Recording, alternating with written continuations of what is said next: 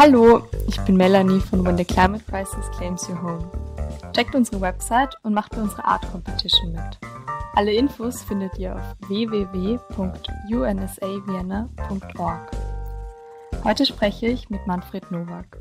Er ist heute aus Venedig zugeschaltet. Hallo Manfred. Hallo Melanie.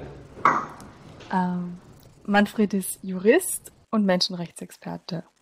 Seit 2016 ist er auch hauptberuflich in Venedig als Secretary General des Global Campus of Human Rights. Manfred hat auch das Ludwig Boltzmann Institut für Menschenrechte mitgegründet und es viele Jahre geleitet. Jetzt ist er auch Leiter des Vienna Master of Arts in Applied Human Rights an der Angewandten in Wien. Schön, dass du dir die Zeit nimmst. Gerne. Bevor wir loslegen, stell dich doch bitte nochmal selbst vor und sag uns auch, warum du heute hier bist.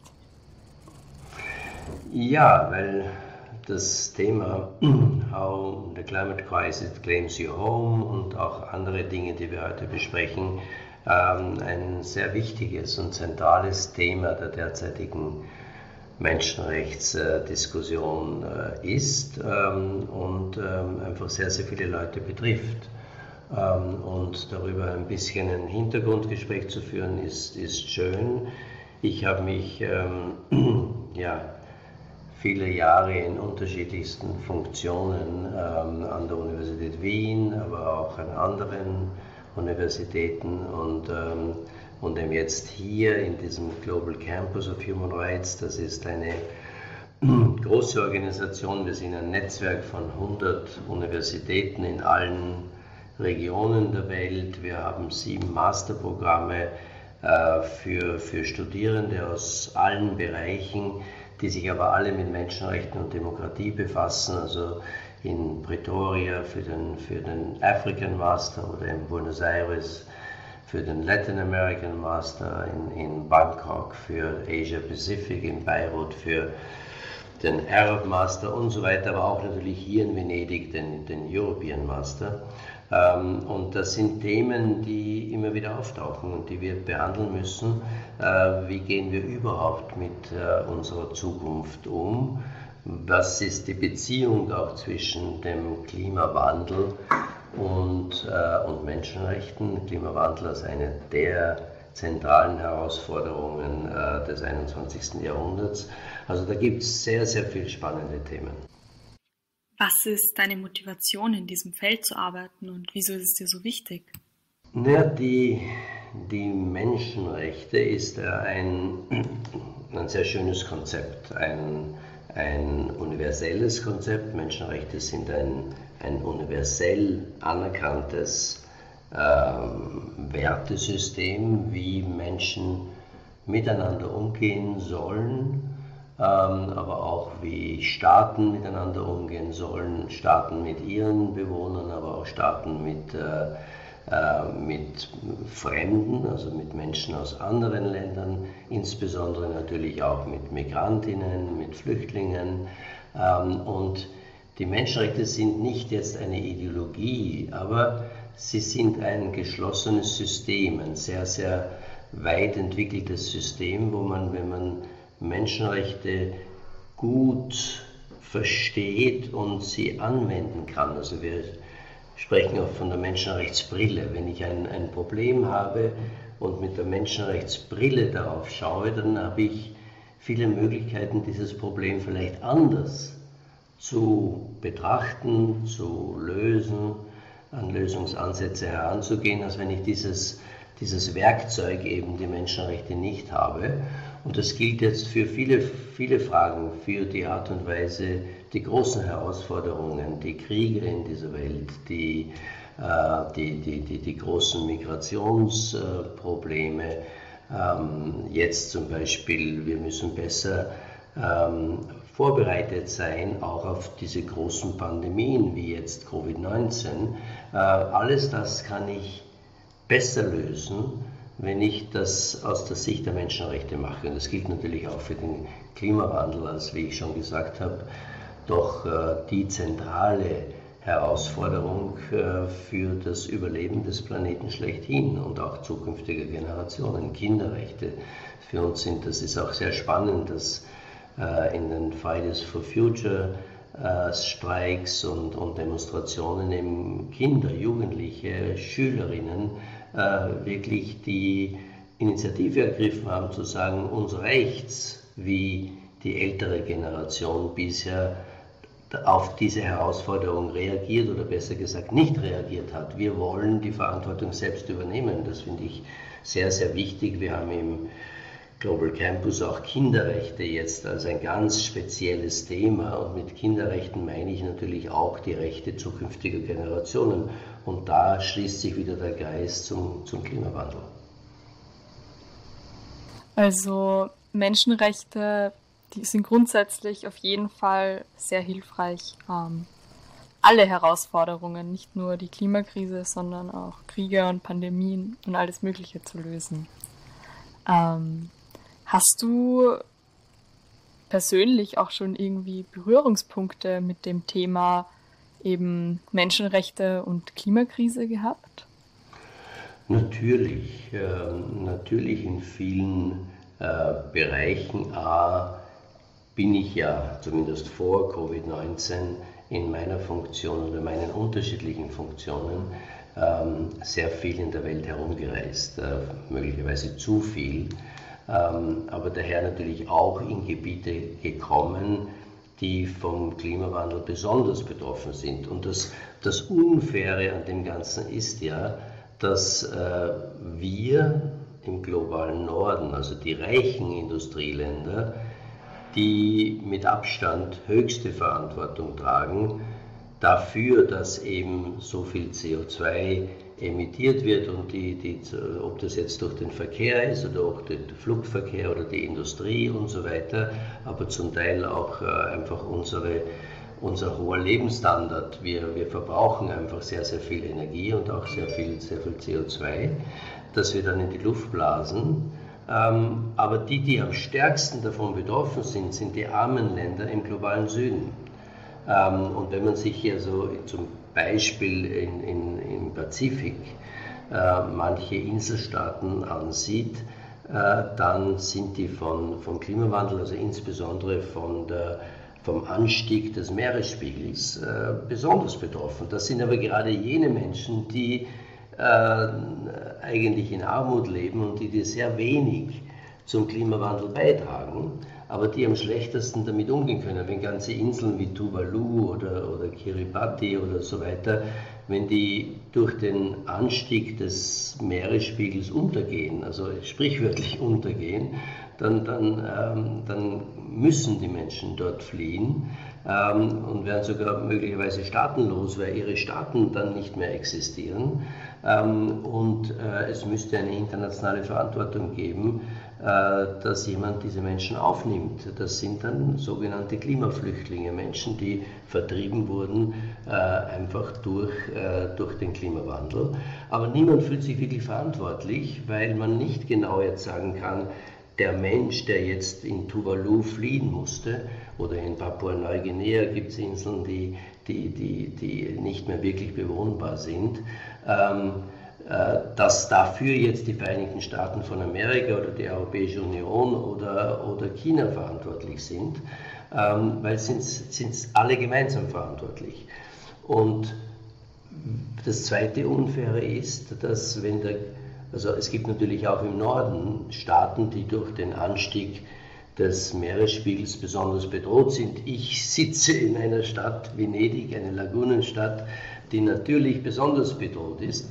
Ich habe lange Zeit in den Niederlanden gelebt. Die Niederlande äh, heißen Niederlande, weil sie sehr, sehr niedrig sind, zum Teil unter dem Meeresspiegel.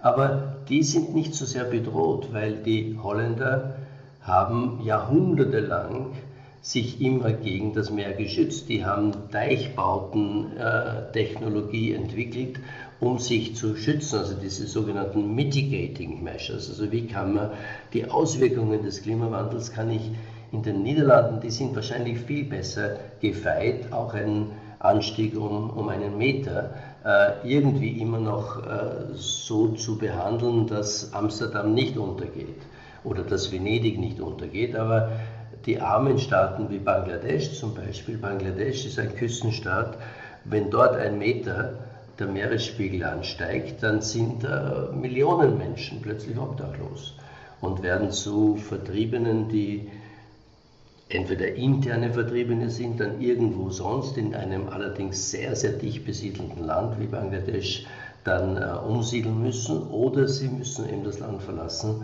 ähm, um, äh, und niemand will sie aber aufnehmen, weil wir eine, gerade im Norden, derzeit eine Politik haben, die sehr, sehr feindlich ist ähm, Flüchtlingen und Migrantinnen gegenüber. Ja. Ähm, du bist ja Menschenrechtsexperte und hast ja auch jahrelang das Ludwig-Boltzmann-Institut für Menschenrechte geleitet. Was sagst du, wie können wir bei diesen 200 Millionen erwarteten Klimaflüchtlingen bis 2040 die Wahrung der Menschenrechte sichern? Ich glaube nur, wir haben am, am Boltzmann-Institut äh, größere Projekte durchgeführt, wo wir genau diese Frage uns angeschaut haben, ist das derzeitige Flüchtlingsrecht, das ja noch aus der Zeit des kurz nach dem Zweiten Weltkrieg stammt, wo man also vor allem daran gedacht hat, äh, die Flüchtlinge durch, die durch den Zweiten Weltkrieg verursacht wurden, beziehungsweise dann im Kalten Krieg mit ähm, dem Eisernen Vorhang, äh, wo es vor allem darum ging, dass Menschen aus den kommunistischen Staaten Mittel- und Osteuropas nach Westen, in den Westen geflohen sind. Das waren damals, was wir mit Flüchtlingen gemeint haben. Ähm, und die nur dann Flüchtlinge sind, wenn sie irgendwie aus rassischen oder politischen äh, Gründen verfolgt sind oder religiösen Gründen wie die, wie die Juden äh, verfolgt sind und deswegen ihr Land verlassen mussten, weil sie sonst umgebracht worden wären oder gefoltert werden oder so weiter. Ähm, und daraus hat sich die Genfer Flüchtlingskonvention entwickelt. Ähm, dort steht aber nicht drinnen, äh, auch wenn jemand deswegen sein Land oder ihr Land verlassen muss, äh, weil ähm, weil äh, es, es eben ähm, ja, äh, er oder sie dazu gezwungen ist, das zu tun, ähm, dann ist diese Person aber nicht verfolgt. Das fällt also nicht unter die Definition des Flüchtlings. Und wir haben uns dann viele Überlegungen gemacht, wie kann ich trotzdem mit dem geltenden Völkerrecht irgendwelche Lösungen finden, aber das ist eben wahnsinnig schwer. Das heißt, die Antwort auf die Frage ist, wir müssen hier völlig umdenken. Äh, wir müssen neue Instrumente schaffen, wir müssen auch die Menschen mehr sensibilisieren dafür, dass Klimaflüchtlinge, dass wir verantwortlich sind, kollektiv, die reichen Länder mit unserem Lebensstandard, wir sind verantwortlich dafür, dass Menschen aus dem globalen Süden, und jetzt habe ich nur von einer Gruppe geredet, nämlich von jenen, die durch den steigenden Meeresspiegel in, ihren, in ihrer Heimat bedroht sind. Es gibt aber auch genau das Gegenteil. Es gibt diejenigen durch die zunehmende Austrocknung. Ähm, das heißt auch ein, eine Folge des Klimawandels, dass gerade in der Sahelzone, also etwas südlich der Sahara in Afrika, ähm, in Staaten, die, ähm, die sehr, sehr trocken immer schon waren, aber wo es noch genügend Möglichkeiten gab, dass sie sich durch Weide, dass also die nomadische Lebensweise, dass sie eben dort äh, mit ihren Rinderherden sich immer wieder äh, ihre Familien ernähren konnten. Und dort wird einfach das Wasser knapp ähm, und diese Menschen werden auch gezwungen, ähm, Länder wie eben, das ist Niger, das ist Tschad, Mali, also diese ganze Gegend, Sudan hinüber, äh, dass die auch zunehmend heimatlos werden, weil sie einfach gezwungen sind, ihre, ihre Heimat, ihre angestammte Heimat zu verlassen. Ähm, das heißt, es gibt äh, viele Klimaflüchtlinge, die durch in unterschiedlicher Art und Weise vom Klimawandel so betroffen sind, dass sie sich nicht mehr wirklich ernähren können oder in, in, ihren, in ihren Dörfern nicht mehr, nicht mehr leben können. Ich würde gern nochmal darauf eingehen, was du vorhin gesagt hast, nämlich, dass wir komplett umdenken müssen, um ähm, die Wahrung der Menschenrechte zu sichern. Ähm, wo siehst du da Potenzial für Veränderungen? Also was können Institutionen tun und was kann auch die Politik tun? Ähm, es ist im Wesentlichen eine politische Frage. Äh, wir leben in einer wirklichen Krise ähm, und die hat verschiedenste Ursachen.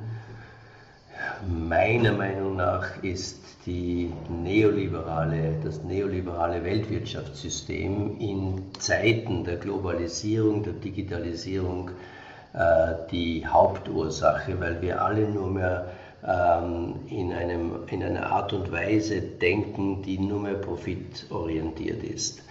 Ähm, und ähm, der Staat sich sehr, sehr zurückgezogen hat. Und das ist eine politische Entscheidung nicht nur der Staaten, sondern auch der, der internationalen Institutionen, der Weltbank insbesondere, des Internationalen Währungsfonds, zu sagen, ähm, eben die drei Mantras privatisieren, das heißt möglichst viel der klassischen Staatsaufgaben an Private und das heißt natürlich transnationale Konzerne ähm, zu verlagern, deregulieren, das ist das Zweite. Das ist vor allem, dass die internationalen Finanzmärkte äh, völlig dereguliert wurden und wir sehen das überall. Das hat dann zu unglaublichen Spekulationen äh, geführt, zum Bankenkrach äh, des Jahres 2008, zu einer wirklich globalen Finanzkrise weil einfach äh, viele Menschen nur mehr durch Finanzspekulationen äh, ihres Geld äh, gescheffelt und verdient haben und damit aber anderen das weggenommen haben. Ähm, das heißt, ähm, also die Deregulierung hat sich als völlig falsch herausgestellt. Äh, wir sehen das ja jetzt auch wiederum gerade, dass Wirecard oder die, die burgenländische ähm, Kreditbank, wo einfach, es ist ein, eine Art und Weise von, dass es keine wirkliche Aufsicht mehr gibt und dadurch es wirklich viele Finanzspekulanten gibt, die irrsinnig reich werden, aber das Geld wird ja irgendwem anderen weggenommen, den kleinen Sparern etc. Und das dritte ist die Minimierung der Rolle des Staates. Und das hat dazu geführt, zum einen, dass eine unglaubliche, ein unglaublicher Anstieg der wirtschaftlichen Ungleichheit. Wir haben das seit, seit dem 19. Jahrhundert nicht mehr so gehabt, dass also ähm, die, die, die, die Reichen superreich sind und die Armut zunimmt, also dass die, die, sowohl die Ungleichheit des Vermögens, aber auch die Ungleichheit des Einkommens.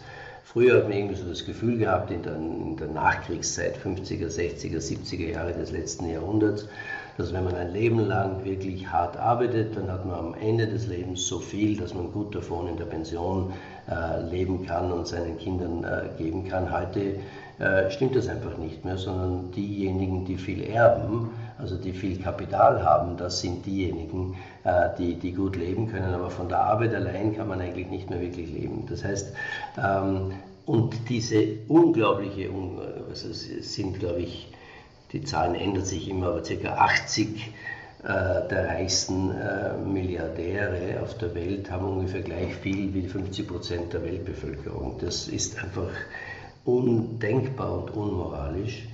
Ähm, und das führt aber zu, einem, zu einer zunehmenden Aushöhlung des sozialen Zusammenhalts unserer demokratischen Gesellschaften. Das heißt, das führt zu einer Krise der Demokratie wir sehen das heute in, in Amerika, also dass Leute wie, wie Donald Trump überhaupt äh, demokratisch gewählt werden, ist, ist, war, war vor, vor 30, 40 Jahren völlig undenkbar. Leute, die einfach nicht geeignet sind und die auch wieder immer nur an ihrem eigenen Vorteil bedacht sind, dass die das Geld eigentlich letztlich das, der wesentliche Faktor ist, wer dann Wahlen gewinnt, aber wir sehen das auch in Europa, wir sehen also eine Krise der Demokratie.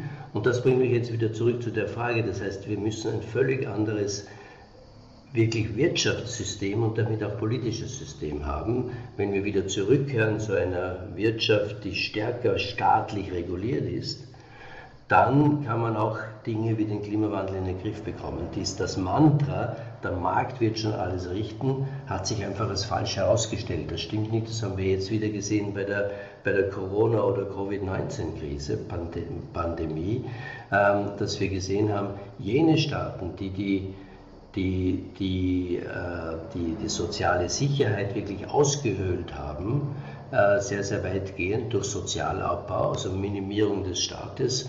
Die Vereinigten Staaten sind das klassische Beispiel, wo das, das Gesundheitssystem einfach das Öffentliche nicht funktioniert. Die Reichen haben tolle, tollen Zugang zu den äh, elitären Gesundheitseinrichtungen, aber die große Mehrheit der armen Menschen in Amerika ist nicht einmal sozialversichert. Das heißt, äh, die, die haben keinen Zugang zum Gesundheitssystem. Ähm, und es ist nicht zufällig, dass gerade Leute dann wie Trump, die das überhaupt geleugnet haben und gesagt haben, das ist ein China-Virus oder was immer, ähm, die haben heute die höchsten Toten, die höchste Anzahl an, an Corona-Infizierten. Das gleiche gilt für Brasilien. Das ist das, das zweite Land, wo ein Jair Bolsonaro, äh, wiederum ein rechter populistischer Politiker, äh, der den Klimawandel leugnet und gleichzeitig den Amazon, äh, Amazonas, äh, also Raubbau am Amazonas betreibt wie niemand vor ihm, äh, was wiederum auch ein Beitrag ist äh, zum, zum Klimawandel. Ähm, dass diejenigen die Staaten sind, die sich am schwersten tun oder auch in, in, in Europa. Ähm, wir sehen, dass Boris Johnson ist auch so ein populistischer Politiker, der es zustande gebracht hat, äh, das Vereinigte Königreich von England ähm, und, und äh, also die britischen Inseln ähm, faktisch von der Europäischen Union zu trennen mit völlig unsinnigen Argumenten ähm, und auch lange Zeit ähm, das Coronavirus geleugnet hat dann leider selbst erkrankt ist daran, dann hat er gesehen, es ist auch schwierig, aber die, das britische Gesundheitssystem wurde auch extrem ausgedünnt und daher haben auch die Briten ein, ein großes Problem. Ähm, das, wir sehen das auch in Italien, weil umgekehrt Staaten, die noch ein halbwegs funktionierendes Gesundheits- und Sozialversicherungs- und soziales Sicherheitssystem hatten, wie die nordischen Staaten, aber zum Glück auch Österreich und Deutschland, äh, die haben die, die ganze äh, Covid-19-Pandemie viel, viel besser gemanagt und mit ihrem Gesundheitssystem auch, äh, das ist nie an die wirklichen Grenzen gekommen, so wie wir das vorher in Italien gesehen haben. Auch Italien hat die Anzahl der Intensivbetten im Zuge neoliberaler Reformen massiv abgebaut und jetzt haben sie dann die Rechnung dafür präsentiert bekommen. Also das heißt, das ist ein gutes Beispiel. Lange Rede, kurzer Sinn, wir müssen wieder die, die Politik muss wieder die Oberhand über die Wirtschaft gewinnen, über das reine Profitdenken. Äh, wir brauchen wieder auch Politiker und Politikerinnen, äh, die, ähm, die, die eben nicht mehr nur populistisch sind, das heißt nicht nur gerade auf die Umfragewerte schauen, die ihnen kurzfristig helfen, sondern eine längerfristige Vision haben. Und diese Staaten müssen dann die Initiative ergreifen, dass wir auf der multilateralen Ebene, das heißt zum einen schon in der Europäischen Union eine, und da zeigen sich ja positive Entwicklungen, sie wirklich den Klimawandel ernst nehmen und natürlich auf der globalen Ebene im Rahmen der Vereinten Nationen, im Rahmen der Weltgesundheitsorganisation und so weiter. Also dass jemand wie Trump jetzt aus der Weltgesundheitsorganisation aussteigen will, ist einfach das, das es ist völlig unfassbar, weil ohne Weltgesundheitsorganisation würden wir viel schlechter dastehen. Aber das ist so diese egoistische Denkweise, America First, obwohl er genau merkt, dass er selbst versagt äh, in, in der Bekämpfung dieser Pandemie. Aber er hat immer Sündenböcke. Ne? Und das ist jetzt die Weltgesundheitsorganisation ist schuld an seinem eigenen Versagen. Also das heißt, wir müssen wieder mehr Staat haben, aber auch mehr Zusammenarbeit der Staaten, weil nur gemeinsam können die Auswüchse des Kapitalismus, das heißt der transnationalen Konzerne, die sind ja global vernetzt. Und wenn immer ein Staat jetzt versucht, sie zu kontrollieren, dann gehen sie halt irgendwo anders hin, vor allem halt, äh, wo, sie, wo sie halt ihre, ihre äh, Profite dann auf die Cayman Islands oder sonst irgendwo hin ähm, äh, schieben, wo sie keine Steuern zahlen müssen und so weiter, sondern wir können nur gemeinsam äh, auch die transnationalen Konzerne wieder ein bisschen unter Kontrolle bringen. Ähm, anders werden wir den, den Klimawandel nicht wirklich bekämpfen können, effizient. Da gibt es schöne, das, das, das, die Pariser Konferenz, wir haben die sogenannte Agenda 2030, das heißt bis 2030 gibt es 17 nachhaltige Entwicklungsziele und viele davon sind auch im Bereich des Umweltschutzes.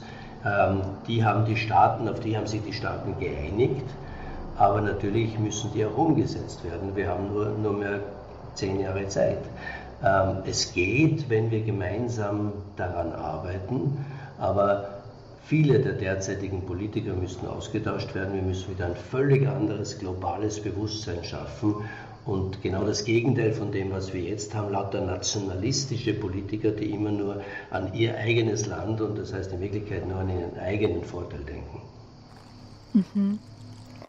Also von politischer Ebene müssen wir ein bisschen weniger egoistisch werden, wenn man das so ganz kurz zusammenfassen kann. Ähm, Viele unserer Zuhörer sind jetzt aber sicher keine Politiker oder Experten. Was kann man als einfacher Mensch tun, wenn man nicht an irgendwelchen Schalthebeln sitzt, um Veränderungen zu bewirken? Wie kann man trotzdem Veränderungen bewirken? Also ich glaube, dass diese ganze äh, Fridays for Future Bewegung, die Greta Thunberg in Schweden begonnen hat, eine 16, 16-jährige Schülerin, äh, aber die sehr schnell eine weltweite Bewegung wurde, äh, die getragen ist von jungen Menschen, von Schülerinnen und Studierenden ähm, und die die Massen auf die Straße getrieben hat und von den Schulen weggetrieben hat, einfach zu sagen, wir, wir wollen jetzt wirklich äh, die Entscheidung selbst in die Hand nehmen. Ähm, das hat schon wahnsinnig viel bewirkt. Da ist viel, viel äh, der etablierten Politiker sind plötzlich aufgewacht und gesagt, aha, ähm, da ist doch irgendwas dran und wir müssen mehr tun und so weiter. Das heißt, die Macht der Straße ist nicht zu unterschätzen. Wir haben das auch jetzt wieder gesehen mit äh, Black Lives Matter. Ähm, der Aus ausschlaggebende Punkt war der Mord an George Floyd, an einem, einem äh, amerikanischen Afroamerikaner, der von äh, einem weißen oder mehreren weißen Polizisten auf brutalste Art und Weise ermordet wurde und der wiederum einfach gezeigt hat, ähm, wie, der, ähm, wie, wie sehr äh, der Rassismus Teil der Polizei ist, und zwar nicht nur in den Vereinigten Staaten von Amerika, dort ist es besonders arg, die Polizei ist besonders rassistisch, das ganze Justizsystem ist besonders rassistisch und das insbesondere gegen Afroamerikaner gerichtet, aber auch gegen Latinoamerikaner, also gegen alle Migrantinnen oder die Afroamerikaner sind nicht einmal Migrantinnen, sondern das sind die Nachkommen der ehemaligen Sklaven. Ähm, das heißt, äh, aber das gilt auch für, für die britische Polizei und das gilt auch für die österreichische Polizei. Ähm, das heißt, ähm, einfach auch diese Dinge bewusst zu machen und das hat jetzt schon viel bewirkt. Ähm, dass ganze Polizei, äh, Polizeieinheiten in ganzen Städten völlig neu organisiert werden. Ähm, das heißt, äh, die Menschen müssen einfach mehr politisch auf die Straße gehen. Und wiederum Black Lives Matter war im Wesentlichen getragen von Jugendlichen, von jungen Menschen, die hier gesagt haben, uns reicht's. Und, ähm, und dann gibt es natürlich viele andere auch, die, ähm, äh, die, die, äh, die eben einfach sagen, und auch viel radikalere Bewegungen wie, wie die Fridays for Future, wo man wirklich sagt, es ist fünf Minuten vor zwölf. Ähm, und wir, wenn, wenn die Politik nicht sehr, sehr schnell und die Politik mit Wirtschaft, das ist ja diese Verbindung, das ist ja Teil des Neoliberalismus, äh, dass man sagt, möglichst wenig Staat, die Wirtschaft, der Markt wird alles regeln, ähm, aber er wird unterstützt dabei von der, von der Politik und das führt natürlich auch zu Korruption und so weiter. Also dieses Ganze, äh, es ist daher auch derzeit das Vertrauen in die Politik sehr, sehr klein und das kann man verändern, wenn natürlich auch, wie derzeit in Österreich, grüne Parteien an der, an der Macht sind, also an der Regierung sind, dann hat das natürlich sehr positive Konsequenzen für die Umwelt, weil das sind die Parteien, die am stärksten sich immer schon für die Umwelt und gegen den Klimawandel eingesetzt haben. Ähm, aber es, es gibt auch andere Parteien, die in diese Richtung arbeiten. Das heißt, auch solche Parteien zu stützen, ist derzeit wahnsinnig wichtig. Man kann auch selbst in der Zivilgesellschaft, es gibt ja sehr viele äh, nichtstaatliche Organisationen, äh, von Greenpeace angefangen über, über viele andere, äh, die sich ähm, eben mit Umweltfragen im weitesten Sinn, da geht es ja nicht nur um den Klimawandel, es geht ja auch um ähm, das, äh, die, das Artensterben. Wir haben ja durch den Klimawandel, aber auch durch andere Umwelteinflüsse dass äh, viele Insekten, aber überhaupt Tiere einfach vom Aussterben bedroht sind oder schon ausgestorben sind und äh, dadurch natürlich das natürliche Gleichgewicht der Welt äh, massiv, ähm, massiv verändern. Ähm, wie gesagt, was sich derzeit im, im Amazonas abspielt, ist, ist einfach unbeschreiblich, wie viel Holz hier mutwillig von der Regierung, aber wiederum gemeinsam mit den großen Holzkonzernen einfach abgeholzt wird, ähm, nur um zum einen Profite zu machen, weil das ja sehr wertvolles Holz ist, aber zum anderen eben, äh, und Amazonas ist die, die grüne Lunge der Welt. Das ist nicht nur für Brasilien oder Südamerika, sondern die, die, die, gesamte, äh, die gesamte Erde profitiert. Das ist der größte Regenwald, den wir haben. Der zweitgrößte ist im Kongo, dort ist es nicht viel besser, weil dort ständig irgendwelche, ähm, irgendwelche Kriege geführt werden um Mineralien und so weiter. Ähm, das heißt, äh, wenn wir das abholzen, dann, dann sägen wir an dem Ast, auf dem wir sitzen. Und äh, das muss einfach eingedämmt werden. Die indigene Bevölkerung dort ist allein viel zu schwach um sich dagegen zu wehren.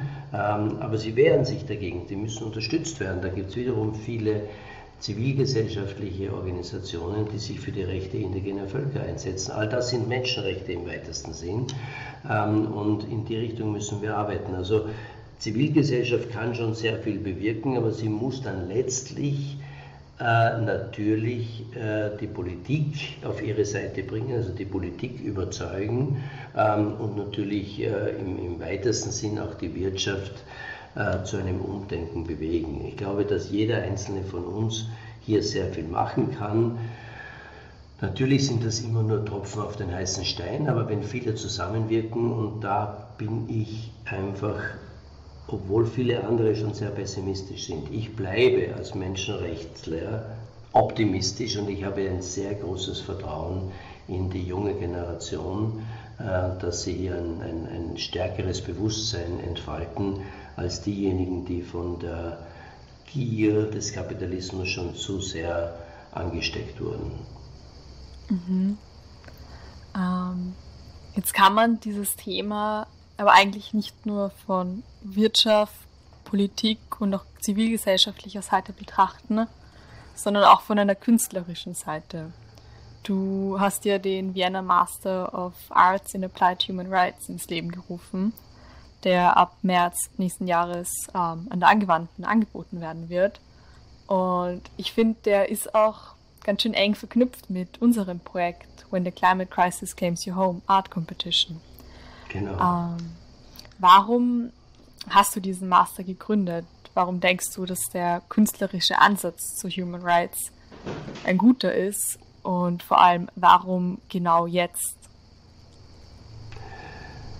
Ähm, das ist eine sehr gute Frage. Wir haben uns das lange auch überlegt, weil wir haben ja noch immer laufen einen, einen interdisziplinären Master of Arts in Human Rights an der Universität Wien und haben jetzt aber auch ein Angebot angenommen der Universität für angewandte Kunst, weil die äh, unter ihrer derzeitigen Führung auch wirklich sehr, sehr offen ist. Die wollen äh, Leute jetzt nicht nur im künstlerischen Bereich ausbilden, sondern so ausbilden, dass sie auf die großen Herausforderungen unserer Zeit auch entsprechend vorbereitet sind und darauf mit künstlerischen kulturellen äh, Skills äh, dann antworten können. Und deswegen, und Menschenrechte ist so ein bisschen ein was Umfassendes, weil alle diese Fragen, die wir jetzt gerade besprochen haben, sind zutiefst menschenrechtliche Fragen. Und daher haben wir gesagt, äh, und wir haben auch schon bisher, also zum Beispiel hier auch in Venedig, ähm, ich, ich, ähm, viele werden wissen, Venedig äh, am Lido, wir sind hier am, am Lido, also an dieser Insel äh, vor Venedig. Ähm, da gibt es das älteste Filmfestival der, der Welt, der Goldene Löwe, der da immer äh, vergeben wird und das beginnt jetzt in, in zwei Wochen. und wir machen immer dazu eine Summer School on Cinema, Human Rights and Advocacy. Das heißt, wir versuchen hier, oder wir haben das schon lange gemacht, äh, dass wir ähm, Menschenrechte mit Film verbinden, weil das, der Film natürlich eine ganz andere Öffentlichkeitswirksamkeit hat. Äh, das heißt, ein guter Film, der ein Flüchtlingsdrama oder, oder die Ausbeutung des Amazonas oder eben auch den Klimawandel und dann wirklich zeigt, was bedeutet das für die betroffenen Menschen. Und wenn so ein Film nicht nur auf einem kleinen Human Rights Documentary Film Festival gezeigt wird, sondern auch in die großen Kinos kommt, ähm, äh, dann hat er eine ganz andere Breitenwirkung. Ähm, und natürlich Filmstars sind, äh, sind natürlich Leute, die Menschen anziehen und die eine ganz andere Möglichkeit haben, eine, eine, eine menschenrechtliche Message an die, an die Menschen zu bringen. Das heißt, der Film ist eine der Möglichkeiten. Wir ähm, wir arbeiten, ich, ich, ich bin gerade Mitherausgeber eines Buches über Music and Human Rights. Und man würde nicht glauben, wie viel Musik mit Menschenrechten zu tun hat. Die universelle Sprache der Musik, die alle irgendwie verstehen äh, und die universellen Menschenrechte, wie die Hand in Hand gehen. Äh, aber warum wiederum? Es gibt für, Entschuldigung, so viele ähm, tolle Konzerte, die organisiert wurden es können klassische Konzerte sein, aber vor allem Popkonzerte oder Rockkonzerte, äh, die dann äh, ein Concert for Africa, wo, wo wirklich der Hunger bekämpft wurde in Afrika und wo bekannte ähm, äh, Bands und Sängerinnen einfach viel, eine viel größere, viel größeres Publikum ansprechen und darauf ansprechen, dass, dass eher etwas verändert werden muss ähm, oder dass ja, ich kann mich selbst erinnern, äh, ich war viele Zeit, lange Zeit in, im früheren Jugoslawien zur Zeit des Krieges und kurz danach und, und, und es war unheimlich schwierig, Bosnien-Herzegowina wieder aufzubauen. Und dann ist Bono gekommen mit einem U2-Konzert in der, im großen Fußballstadion von Sarajevo und plötzlich äh, konnten Serben, Kroaten und, und, und Muslime zusammen feiern, weil alle an die Musik geglaubt haben, wo sie vorher aber eigentlich gegenseitig sich umgebracht haben und, und nichts mehr miteinander zu tun haben wollten. Das heißt Völkervereinigung, äh, Menschen unterschiedlicher Religionen wieder zusammenzubringen. Da hat Musik unglaublich viel Potenzial. Aber jetzt könnte ich weitergehen, die unterschiedlichen Kunstformen, das gilt, das gilt natürlich auch für die bildende Kunst. Äh, äh, viele berühmte Gemälde von Picasso und so weiter, die äh, einfach Bewusstsein geschafft haben für menschenrechtliche Probleme.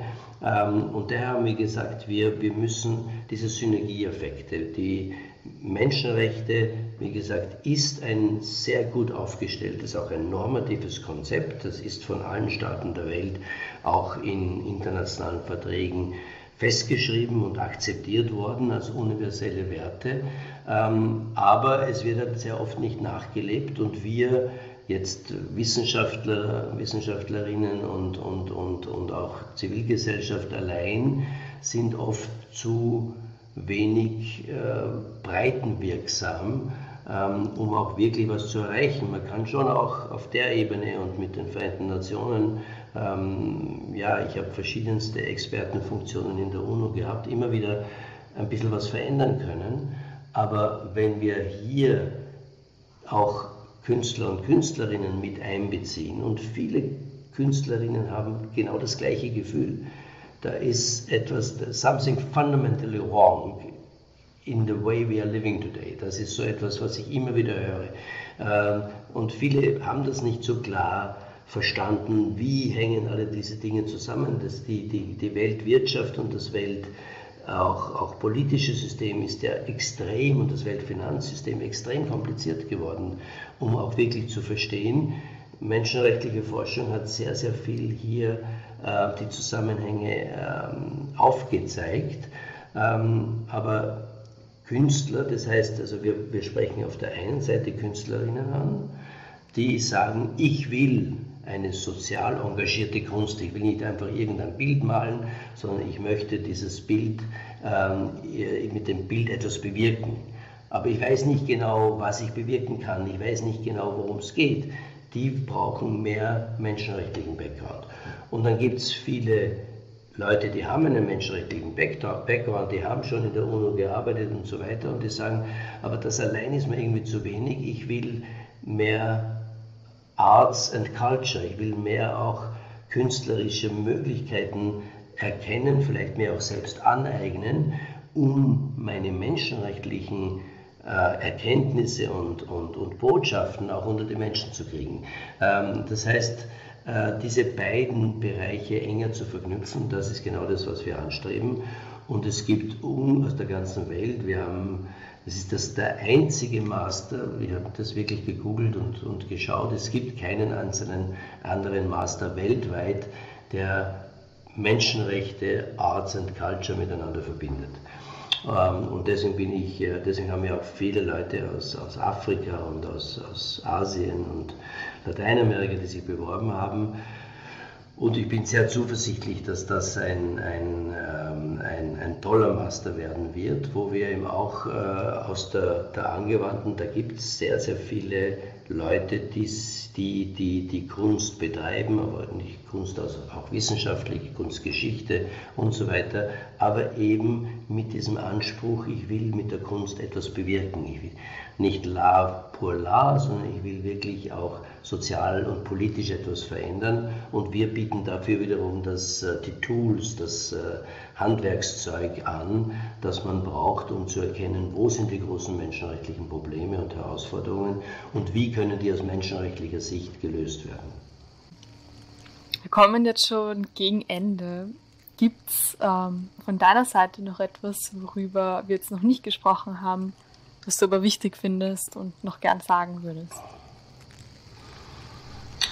Ähm,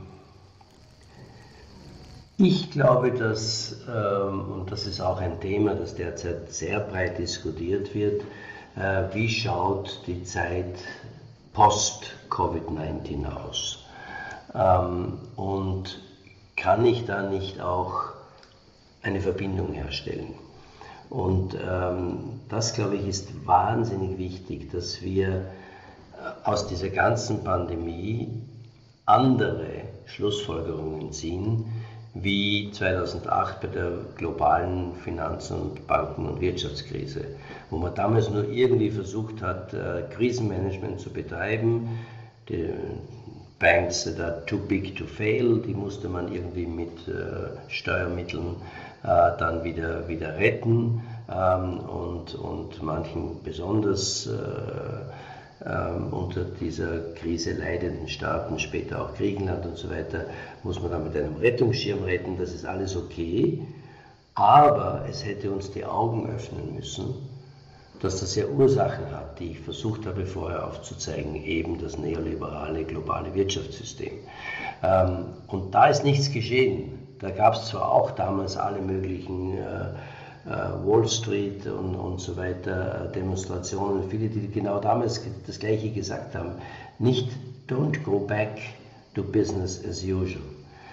Genau das ist aber geschehen, weil die Staaten, weil die Politik und weil auch die Konzerne kein Interesse daran gehabt haben, hier wirklich was Grundsätzliches zu ändern.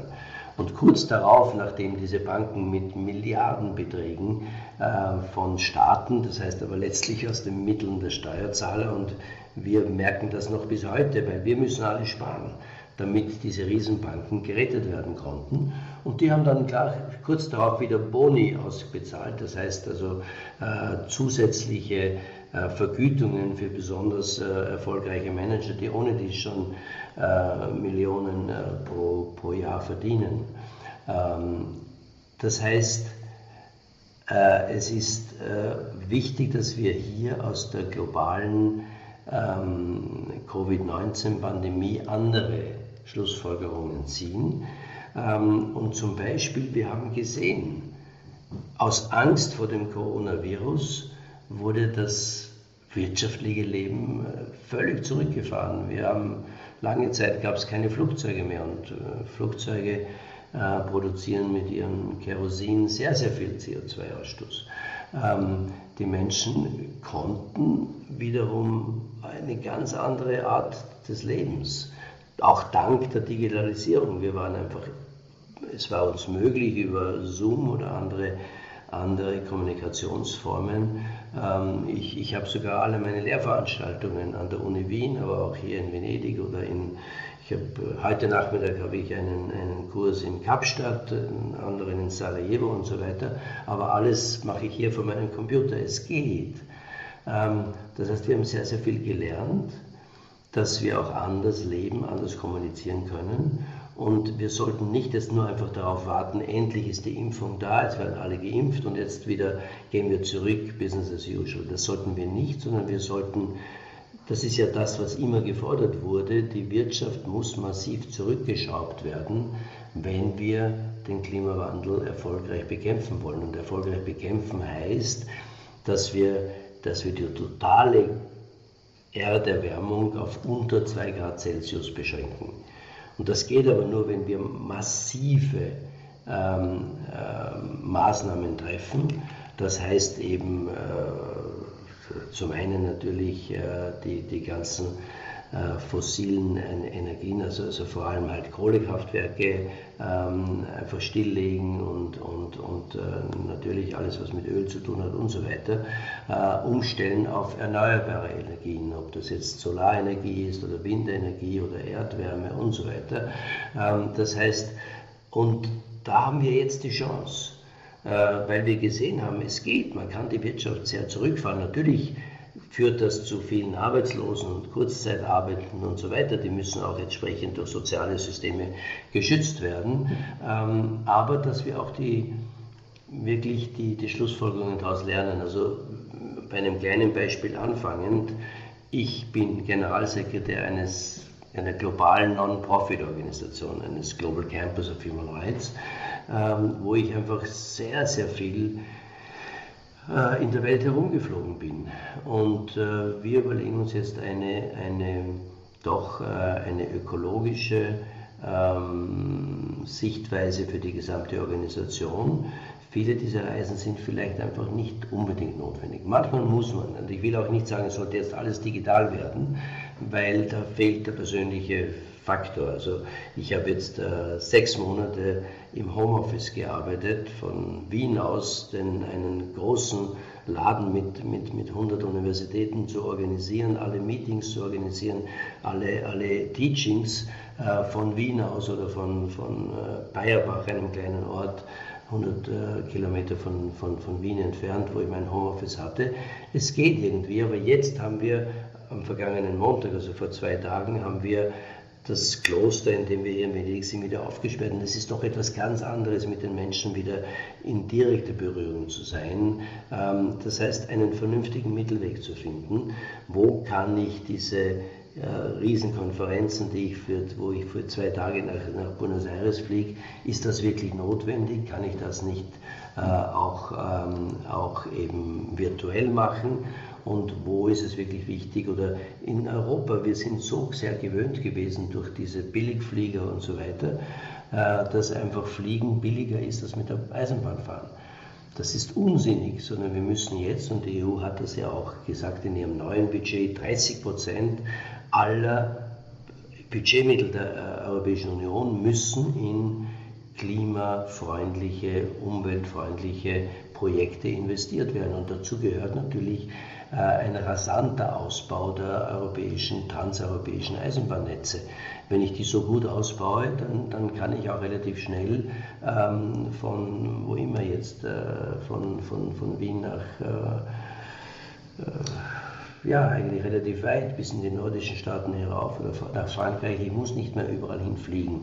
Ähm, das sind nur so kleine Beispiele. Da gibt es natürlich viele andere Dinge auch, wo wir ökologischer bewusst äh, arbeiten können und einfach jetzt die Lehren aus Covid-19 ziehen und wirklich zu sagen, ähm, lass uns die beiden Dinge verbinden. Die Natur hat sich sehr erholt durch Covid-19. Äh, das sehen wir in vielerlei Bereichen. Auch die Artenvielfalt ist ein bisschen zurückgekommen. Ähm, die, äh, das heißt, versuchen wir das weiterzuführen ähm, und die Wirtschaft zwar schon wieder natürlich äh, aufzubauen, aber in einem ökologischen Sinn. In einem Sinn, dass sie nicht denn äh, nicht klimaschädlich ist oder weniger klimaschädlich, sodass wir die Klimaziele, die Pariser Klimaziele auch wirklich erreichen können. Weil wenn wir sie nicht erreichen, dann gibt es irreversible Schäden und die können wir nicht mehr rückgängig machen. Und wir hinterlassen das aber dann der nächsten Generation, die, die in, den, in den Jahren zwischen 2030 und 2050 geboren werden. Wir, wir haben diese Verantwortung, ihnen einen Planeten zu hinterlassen, der nach wie vor lebenswert ist. Mhm. Das heißt, wir sind ja gerade ähm, wirklich total in einem Moment für große Entscheidungen und auch große Veränderungen, wo man total viel lernen kann aus den Dingen, die gerade passieren. Mm, jetzt würde ich dir noch gerne eine Frage stellen, die wir all unseren ähm, Interviewpartnern stellen. Ähm, und zwar die folgende.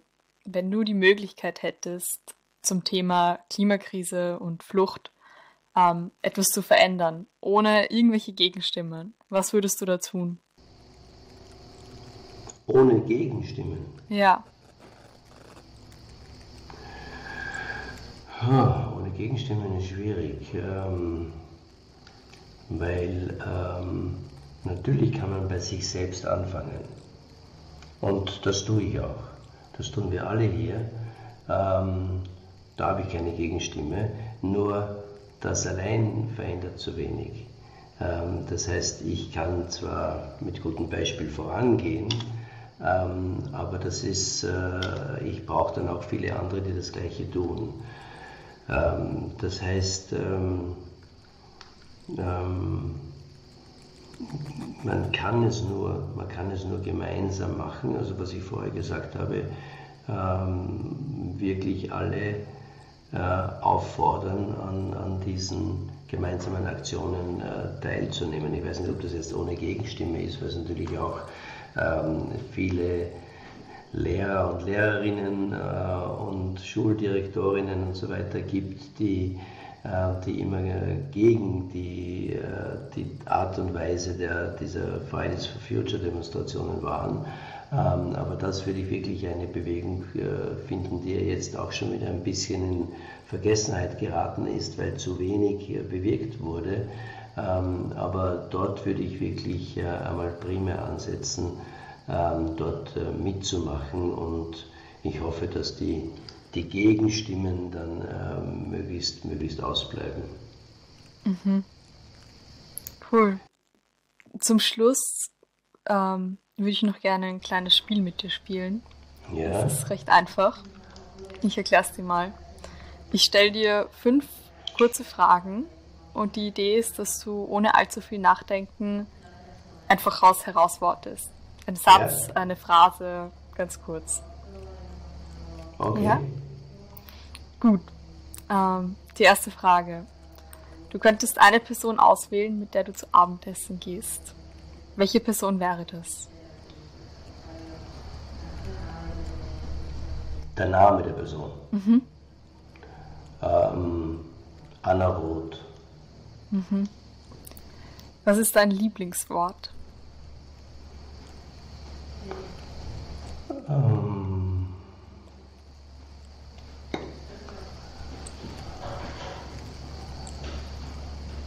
herrlich.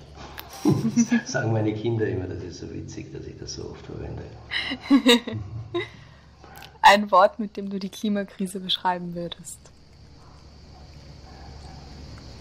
Ähm, Verantwortungslosigkeit. Ein Buch, das dein Leben verändert hat. Stefan Zweig, die Welt von gestern. Etwas Schönes, was du in den letzten Monaten gesehen oder gehört hast, was dir Hoffnung gegeben hat. Ja, wirklich. Ähm, ich, das, ich komme wieder auf selbe zurück. Fridays for Future ist eine ganz tolle Initiative, die mir viel Hoffnung gegeben hat. oh, das ist ein schöner Abschluss. Hm. Ja, das wär's dann auch schon. Ähm, vielen, vielen lieben Dank, dass du dir die Zeit genommen hast, diesen Podcast mit mir aufzunehmen. Ähm, für die Zuhörer noch, ihr könnt auf den Link in der Infobox klicken und bei unserem Wettbewerb mitmachen. Alle Infos dazu findet ihr auf www.unsavienna.org und mitmachen können alle jungen Menschen mit jeder Ausdrucks- oder Kunstform. Also Fotos, Videos, Gedicht, Skulpturen, Text, Musik, alles. Und wir freuen uns voll auf eure Einsendungen. Ihr könnt euch auch unsere anderen Podcasts anhören, die findet ihr auch im Kanal.